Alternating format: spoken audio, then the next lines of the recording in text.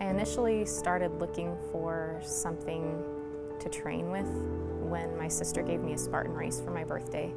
And I found that CrossFit was a great way to train. So I looked up CFT Fitness and started.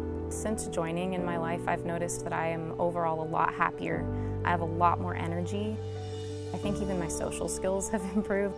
I really love the community here. Then I went one-on-one -on -one with Shannon and she helped me overcome some of the barriers I was facing with nutrition. In just the two and a half months I did nutrition with Shannon, I lost 6% body fat.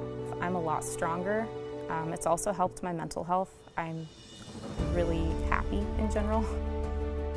Giving myself something that I can do just for me has boosted my mood a lot. It's helped my family's health too.